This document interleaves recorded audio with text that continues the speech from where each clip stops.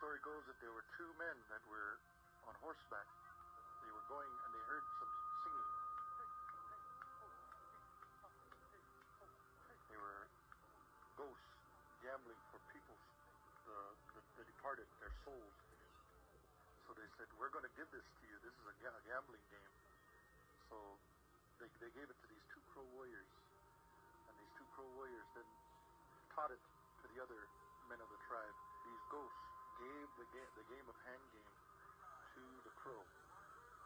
There is a contention that if there's too much hand game being played on the reservation, uh, to an excess, there's a saying that the people that are sick or that are, are about to die will be called home, and they- because you, you find that that if there's too much hand game being played on the reservation, people start dying.